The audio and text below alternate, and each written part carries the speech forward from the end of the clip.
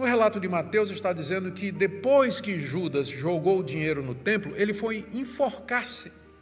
Ele morreu enforcado, se suicidou. Mas aqui está dizendo que ele caiu de cabeça e rompeu-se pelo meio e todos os seus intestinos se derramaram. Então, os críticos da Bíblia dizem que aqui você tem uma contradição. Em Mateus, a morte de Judas é por enforcamento. E aqui o comentário de Lucas é que ele caiu, se rompeu no meio e as tripas se espalharam pelo chão.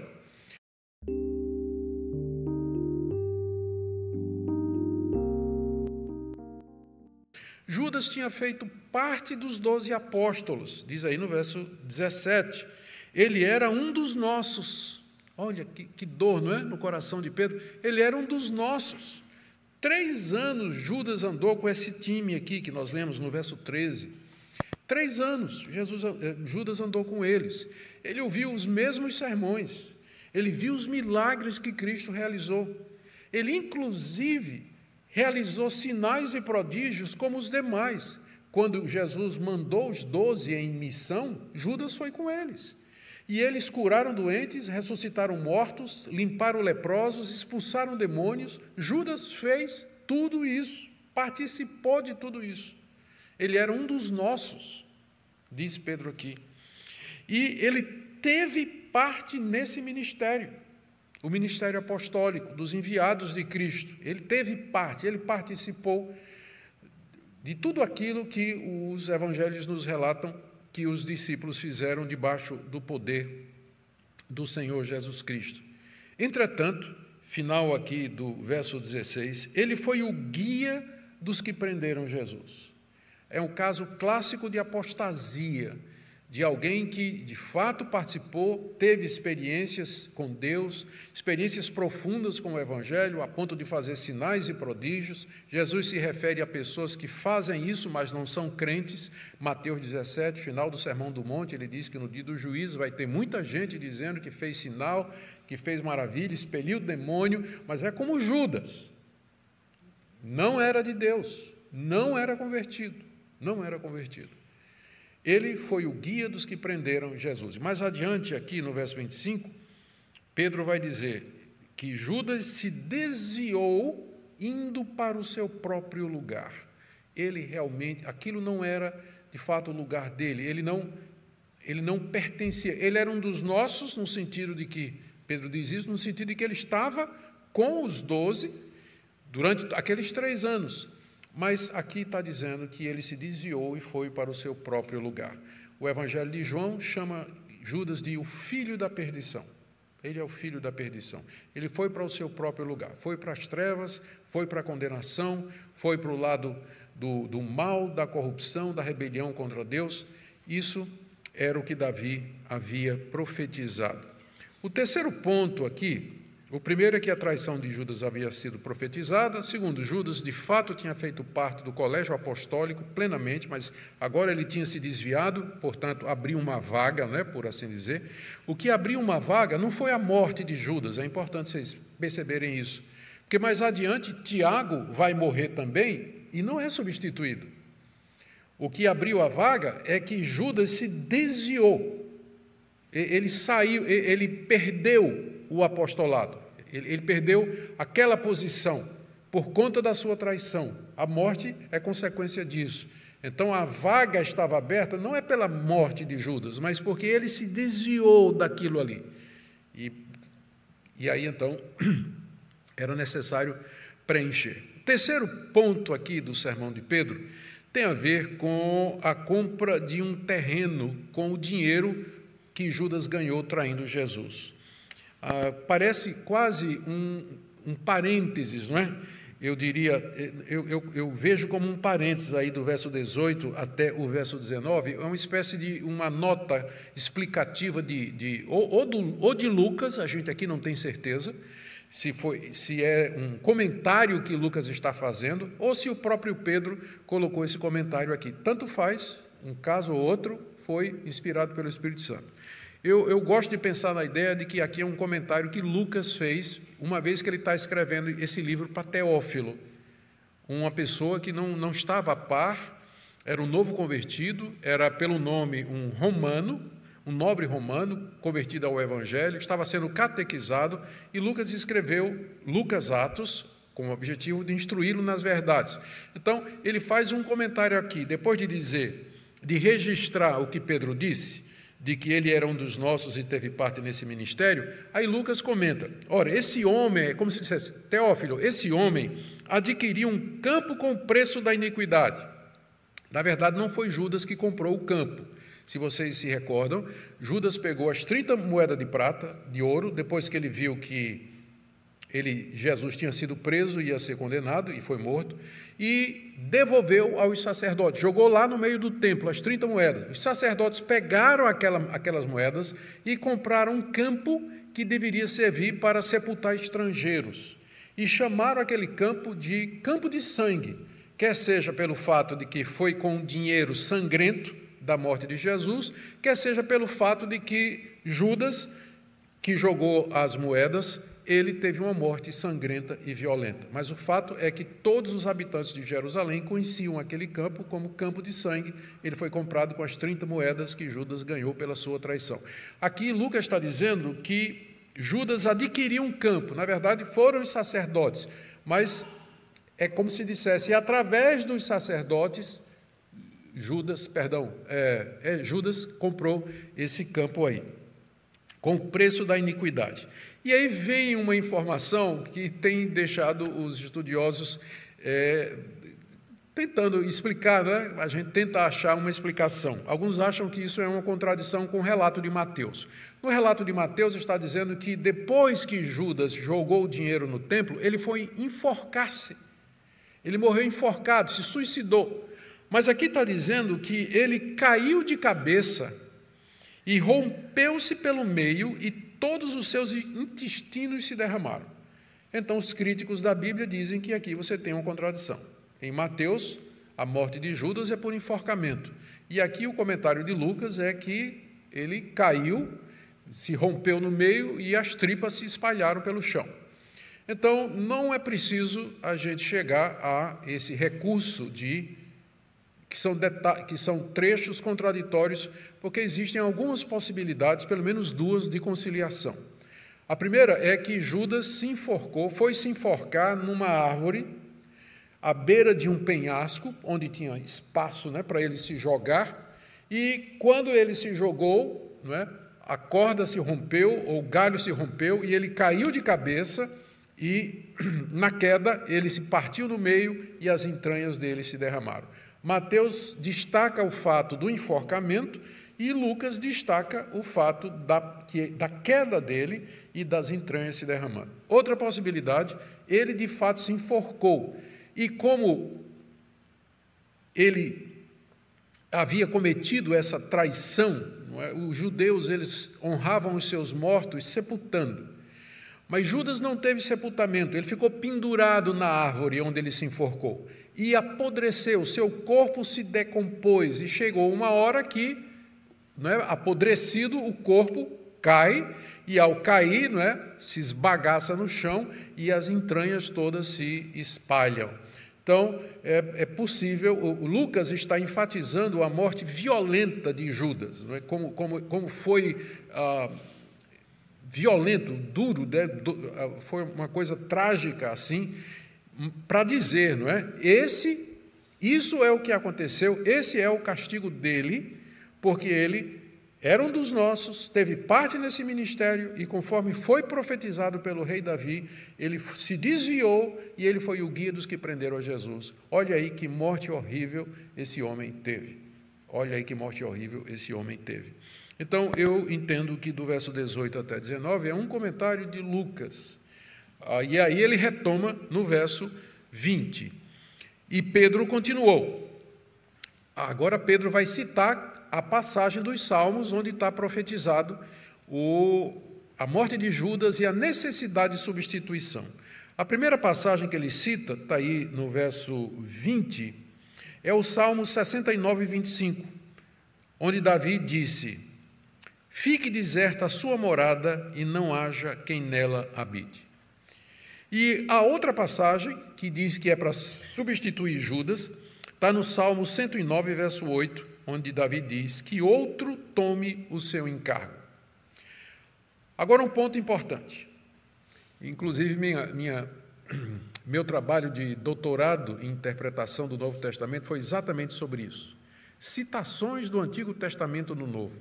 Falando francamente, se a gente não tivesse essa informação aqui e você lesse esse salmo, você teria percebido que isso aqui era uma profecia sobre Judas? Não teria. Não teria. E aqui está a necessidade dos apóstolos. Os apóstolos eram intérpretes do Antigo Testamento. Eles eram autorizados por Deus a ver o sentido mais profundo de determinadas passagens do Antigo Testamento que escapa ao olho comum. Você leria essa passagem e não veria nada.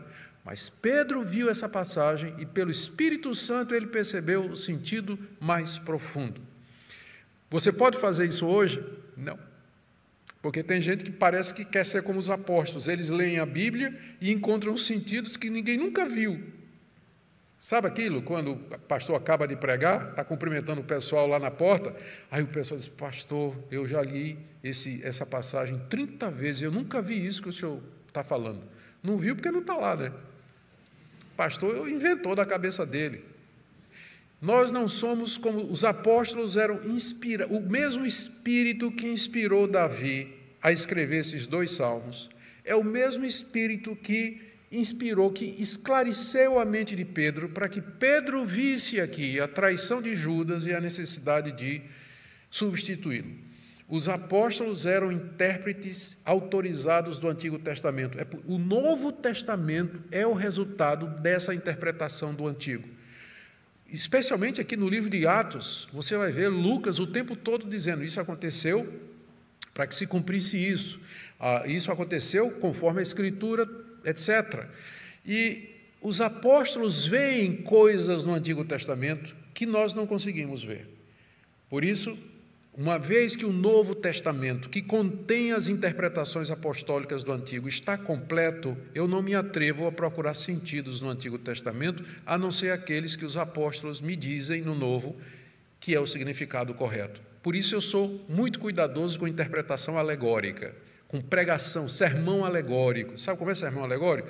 As pessoas pegam uma passagem do Antigo Testamento e constroem lá toda uma história e fatos e narrativas e, e tudo, eu, eu tenho muito receio de fazer isso, porque eu não sou Pedro para poder ver nesses dois salmos uma referência à traição de Judas e à necessidade de substituí-lo. Mas ele viu. Viu porque era inspirado, infalivelmente guiado por Deus ao sentido das Escrituras do Antigo Testamento. Então, depois de demonstrar pelo Antigo Testamento ah, que, ah, primeiro, a perda do lugar entre os apóstolos, da parte de Judas, e, a, e que outro ocupasse o seu lugar, está aí no verso 20, ele diz no verso 21, portanto, é necessário que a gente o substitua. Pedro entendia, pelo Antigo Testamento, por esses dois salmos, que era necessário substituir Judas antes da chegada do Espírito Santo. É o que ele diz aqui. Só que essa substituição, ela não seria é, de qualquer forma.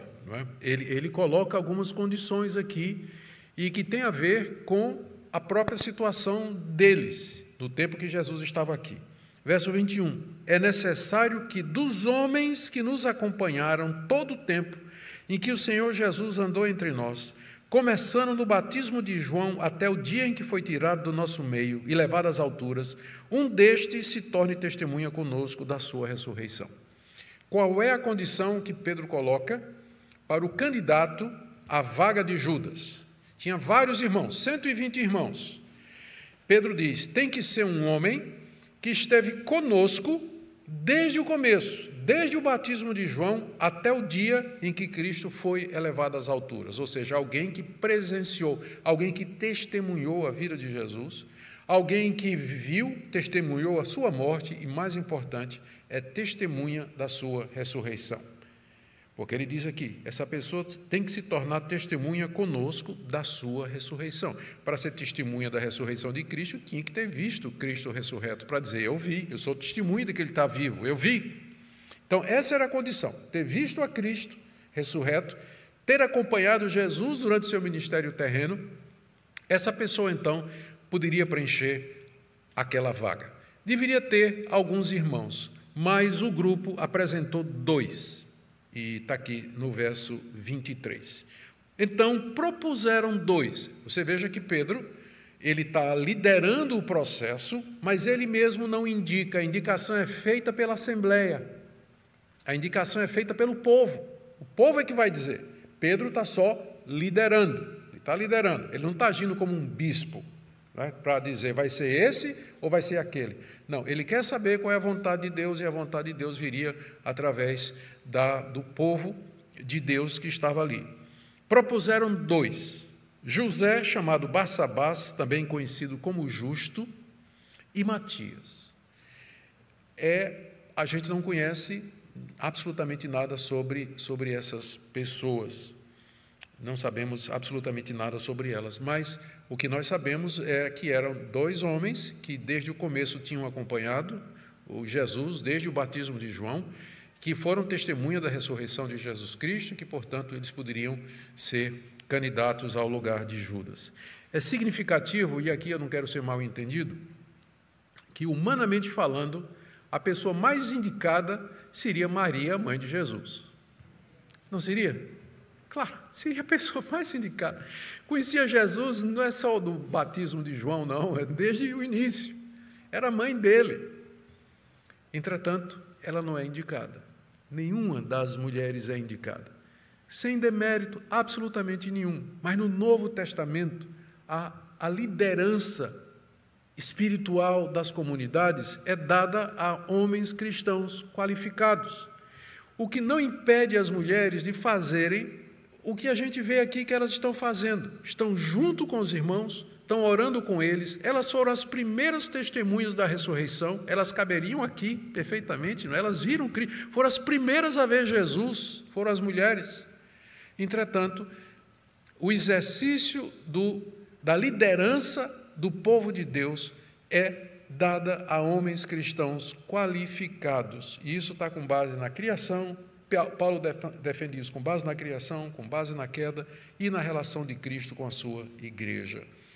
A mulher tem o seu papel especial na igreja, mas a liderança é para aquelas pessoas, aqueles homens cristãos qualificados. Indicados os nomes, então, eles oraram, e a oração está aí no verso 24. Tu, Senhor, que conheces o coração de todos, olha a importância disso aqui. Né? O coração de Judas, Judas era um dos doze, né? mas o coração de Judas, quem conhecia o Senhor Jesus, claro, desde o início. Mas os discípulos não perceberam isso. Inclusive, ele tinha um cargo de confiança, Judas, ele era o tesoureiro do grupo, é quem ficava com o dinheiro, a bolsa onde as ofertas eram recolhidas. Quem ficava com, com o dinheiro era Judas, porque ele gozava da confiança. Mas o coração de Judas não era de Cristo. O coração de Judas não era. Por isso que agora, à luz da experiência passada, a igreja aqui reunida, eles dizem: Senhor, tu que conheces o coração, porque nós não conhecemos. Mas o Senhor conhece o coração. Mostra, revela-nos qual destes dois escolhestes. Eles sabiam que a escolha já estava feita. Eles sabiam que Deus já tinha determinado todas as coisas desde a eternidade. Mas agora eles queriam que Deus mostrasse na prática, que o Senhor Jesus revelasse qual dos dois havia sido escolhido, para preencher a vaga de Judas. Está aí o verso 25.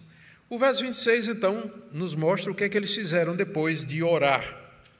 Eles oraram, pedem revelação e então eles fazem um sorteio, diz aí, ou, segundo a Almeida atualizada, lançaram sortes. O que provavelmente foi da seguinte maneira: duas pedras, cada uma delas com o nome, um nome Matias e o outro Barsabás, duas pedras colocadas num vaso de barro, sacudido e jogada. Que saísse primeiro seria o escolhido. E saiu o nome de Matias. Naturalmente, não é? esse texto, as pessoas ficam se perguntando: bom, pastor, a gente pode escolher o pastor da igreja assim? Né? Que tal? Ou presbíteros? Não, não podemos escolher os presbíteros dessa maneira, porque está aqui, não é? Está aqui. Ou então, se isso aqui está correto, se essa maneira de escolher Matias foi correta, se eles agiram corretamente, vem a pergunta: por que a gente não pode fazer hoje então? E se isso foi errado, então, geralmente se diz, eles se apressaram porque o décimo segundo apóstolo era Paulo. Se eles tivessem esperado mais um pouquinho, era Paulo que ia substituir Judas. Então, qual dos dois? Eu entendo que a escolha foi correta, o procedimento foi correto. Esse é o ponto de Judas, perdão, o ponto de Lucas desde o começo. Eles estavam em oração e foi tudo feito com em cima da interpretação das escrituras. Então o processo todo estava biblicamente embasado, foi autorizado por Deus, estava debaixo de oração. Agora deixa eu explicar um pouco esse processo. Lançar sortes era muito comum, era prática do povo de Deus no Antigo Testamento para discernir a vontade de Deus em determinadas circunstâncias. Se não, vejam só, a divisão da terra prometida, quando Josué, sob a, sob a liderança de Josué, Israel tomou a terra de Canaã, chegou a hora de dividir a terra entre as doze tribos, fora aquelas que tinham ficado do outro lado do Jordão, as que passaram, eles iriam dividir a terra. Como é que eles resolveram isso? Lançando sortes. Foi assim que fizeram a divisão da terra, lançando sortes. Quando houve um pecado no meio do povo de Deus, que alguém tomou das coisas proibidas, como é que descobriram que foi Acã? Lançando sortes. A escolha, quando tinha o dia da expiação, que traziam dois bodes, e um daqueles bodes ia ser sacrificado, e o outro bode era o bode emissário era o bode sobre o qual o sacerdote ia impor as mãos, orar, confessar os pecados de Israel, e ele ia ser mandado para o deserto, levando os pecados de Israel. Como é que eles escolhiam entre os dois bodes? Lançando sortes. Como é que descobriram que foi Jonas a, o culpado pelo naufrágio daquele navio, né? pela, pela grande tempestade? Como é que os marinheiros descobriram? Lançando sortes. Quando o povo de Israel voltou do exílio, muita gente voltou e todo mundo queria morar em Alphaville, que era Jerusalém. Todo mundo queria morar. Como é que eles resolveram quem iria morar em Jerusalém? Quais dos exilados teriam o direito de morar em Jerusalém? Resolveram como? Lançando sortes. Então, era supernatural para esses discípulos, que eram judeus, que conheciam o Antigo Testamento, que estavam acostumados com essa prática, a saber a vontade de Deus através do lançar sortes. Eles estão perfeitamente dentro da prática do Antigo Testamento. Lembrem que aqui, tudo que está acontecendo aqui, ainda é Velho Testamento. Né? Novo Testamento é com a chegada do Espírito Santo. Aí começa a fase cristã do povo de Deus. Mas aqui eles ainda estão vivendo debaixo do período do Antigo Testamento. Depois que o Espírito Santo veio, depois do dia de Pentecostes, você não encontra mais nenhuma referência a decisões tomadas pela igreja. Por exemplo, logo, logo em seguida disso aqui, Atos 6, a gente vai chegar lá, eles resolvem escolher homens para ser diáconos, para cuidar das viúvas. Como é que eles fazem isso? Lançando sortes? Agora já é por qualificação. A gente escolhe hoje presbíteros e diáconos de acordo com as qualificações estabelecidas pelo Espírito Santo na Bíblia. 1 Timóteo 3, se alguém quer ser presbítero, pá, pá, pá, pá, aí vem diácono, isso, isso e isso. Atos capítulo 6, Pedro já diz assim: vamos escolher irmãos que tenham boa reputação, sabedoria e que sejam capacitados para esse trabalho e cheios do Espírito Santo através não de lançar sorte. O que eu quero dizer é que uma vez que o Espírito Santo veio e ele veio habitar a igreja, nós não escolhemos mais líderes, nem discernimos a vontade de Deus lançando sortes. Mas o Espírito Santo nos guia através das circunstâncias, através de conselhos, através dos princípios da palavra de Deus e das qualificações, pensando em oficiais, que ele deixou na Escritura Sagrada. Portanto, a escolha de Matias foi absolutamente correta. A prova disso é que no capítulo 2, capítulo 2, verso 14, é dito: Pedro se levantou junto com os onze. Está vendo aí no verso 14? Então significa que Matias já fazia parte. E aqui mesmo no verso 26. Depois fizeram um sorteio e a sorte caiu sobre Matias, que foi acrescentado ao grupo dos onze apóstolos. Então, não era Paulo. Paulo, ele, é, ele mesmo não se considera como parte dos doze, ele nunca reivindicou isso, mas ele é um chamado por Deus extraordinariamente para pregar o Evangelho entre as nações. Na visão que João tem da igreja, no livro de Apocalipse, ele diz, ele vê que a igreja tem 12, tem 12 fundamentos e 12 portas, que se referem aos 12 patriarcas do Antigo Testamento e aos 12 apóstolos de Jesus Cristo, que são esses aqui, essa lista que está aqui, no verso 13, acrescentada agora de Matias. A igreja agora está pronta para receber o Espírito Santo que viria em poucos dias. Que lições nós podemos tirar daqui, queridos? Já, já avançamos em muitas coisas, mas deixe-me apontar algumas. Primeira natureza do livro de Atos. Talvez essa seja a melhor passagem do livro de Atos para explicar o que eu quero dizer aqui e que eu estou dizendo para vocês. O livro de Atos cobre um período específico da história da igreja. É um período de transição é um período de transição, é um período onde ainda se lança sortes, por exemplo. Então, é, por que, que eu estou dizendo isso? Porque às vezes as pessoas querem pegar o livro de Atos e dizer tudo o que aconteceu no livro de Atos tem que, é, é paradigma e padrão para a igreja de hoje. Nós temos que imitar e fazer tudo o que está no livro de Atos. Então, eu não creio que a gente vai pegar esse modelo aqui para a escolha de oficiais para a igreja, por exemplo é uma prova de que é um período especial. É um período de transição da antiga aliança para a nova aliança, onde fatos extraordinários aconteceram que não se repetem e que nós precisamos ter cuidado para não querer tentar a Deus ou forçar a mão de Deus, querendo repetir experiências que estão relacionadas com essa mudança.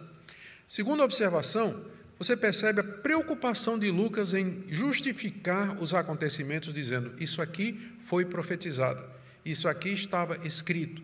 Nós chamamos esse, essa realização das profecias de história da salvação.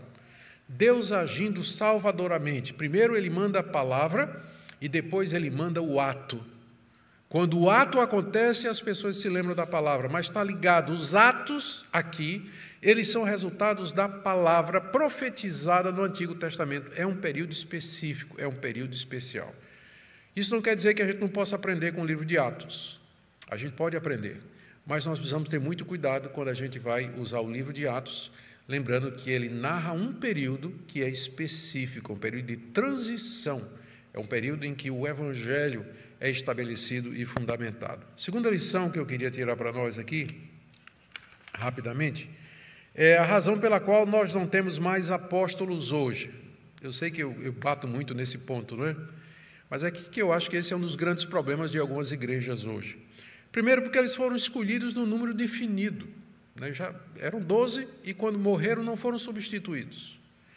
Segundo, eles foram chamados por Jesus Cristo, estiveram com Jesus durante o ministério terreno, eram testemunhas de sua ressurreição, e após a substituição de Judas, não teve mais substituição dos apóstolos que morreram. Por exemplo, o apóstolo Tiago vai morrer em Atos capítulo 12, pela espada de Herodes, não há nenhuma providência para ser substituído. O número caiu para 11 e ficou 11 mesmo.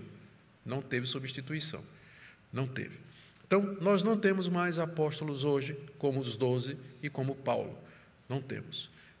O que nós temos aqui é o registro que eles fizeram da vida de Cristo e a interpretação que eles fizeram do Antigo Testamento, nos dizendo o que é que aqueles fatos queriam dizer. E a última coisa, como é que nós podemos discernir a vontade de Deus hoje, como igreja? Muita oração, leitura das Escrituras, estar abertos e atento, atentos para as circunstâncias, decidir em colegiado, decidir em concílios, nunca um líder somente, e dessa forma a igreja vai ser guiada. É um risco quando a liderança da igreja fica na mão de uma pessoa só. Por isso que nós temos concílio. Você vê Pedro aqui, ele se levanta como líder, mas ele traz o assunto perante o colegiado dos irmãos, aqueles 120 que decidem, apontam os candidatos e fazem a escolha, que é a escolha de Deus. Que Deus nos ajude, irmãos, queridos e amados, a ser uma igreja, que Deus permitisse que a igreja do Brasil fosse uma igreja bíblica, uma igreja que andasse realmente nos seus caminhos. É o que nós desejamos. Amém? Judas Iscariotes foi um dos doze apóstolos escolhidos por Jesus. Em Mateus 10, 4, encontramos seu nome listado entre aqueles que foram chamados a caminhar com o Senhor, a observar seus milagres e a ouvir seus ensinamentos.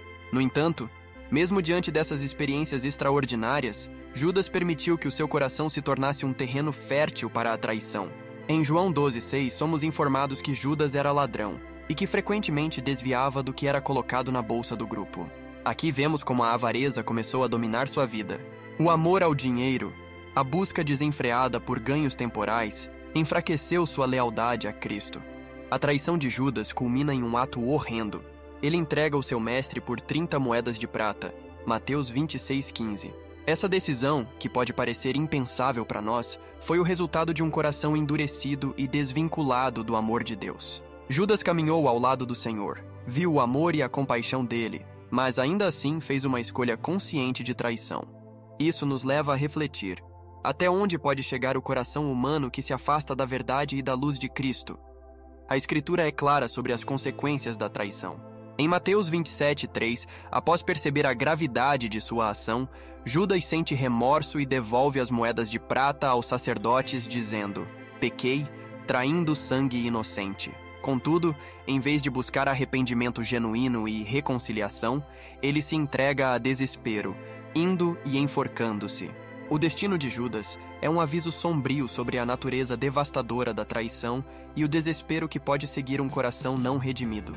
Este episódio doloroso nos apresenta uma advertência vital sobre as consequências espirituais que surgem da traição. Assim como Judas, temos a liberdade de escolher o caminho que seguimos, mas as nossas escolhas carregam consequências eternas.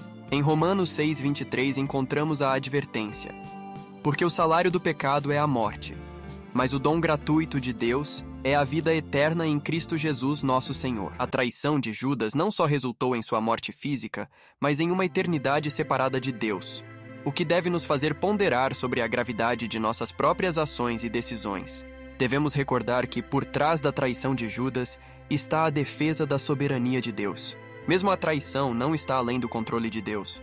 Em Atos 2:23, Pedro refere-se ao plano soberano de Deus na entrega de Jesus, o qual foi entregue pelo cuidado e presciência de Deus, e vós, prendendo-o por mãos iníquas, o matastes. Isso nos lembra que, mesmo diante dos atos mais sombrios, Deus está sempre no comando, utilizando até a traição para cumprir suas promessas redentoras. No entanto, isso não diminui a responsabilidade individual. Cada um de nós é responsável por nossas ações diante de Deus. Portanto, amados, que esta advertência sobre Judas Iscariotes nos leve a refletir sobre nossas próprias vidas e escolhas. Onde estamos colocando nosso coração?